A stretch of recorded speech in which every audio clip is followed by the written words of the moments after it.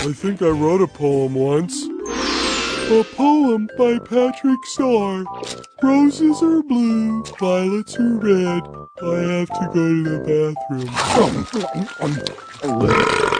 How many times I gotta tell you, this is gym class. A few moments later. Guilty. Oh